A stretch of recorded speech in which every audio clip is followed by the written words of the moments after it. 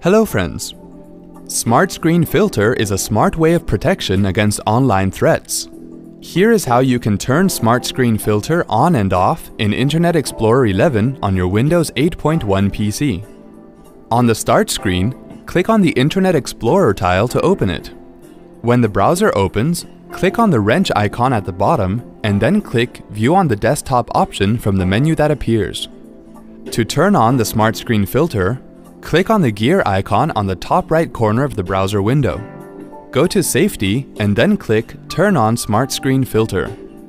Make sure that the radio button next to Turn on Smart Screen Filter is selected and then click OK.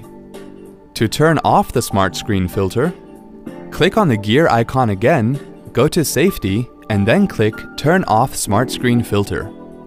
Make sure that the radio button next to Turn off Smart Screen Filter is selected and then click OK.